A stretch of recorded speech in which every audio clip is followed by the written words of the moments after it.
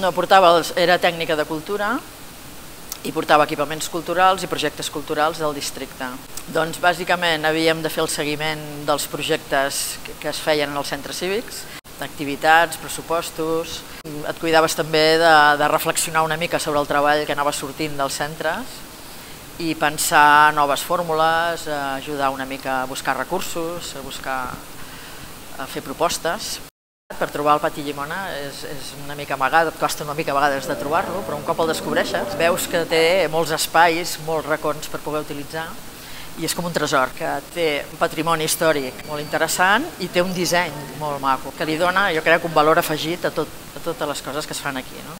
Jo crec que és un moment entre l'experiència d'aquests 35 anys més els canvis que estan havent-hi a la ciutat, com per haver-hi un camp obert, experimentar coses i atreure'ls-hi molt suc als centres cívics. No?